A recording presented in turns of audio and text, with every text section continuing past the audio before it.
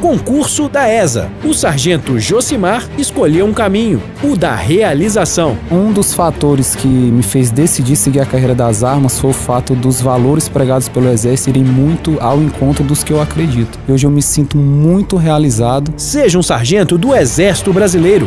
Faça o concurso da Escola de Sargentos das Armas. Informações em esa.eb.mil.br.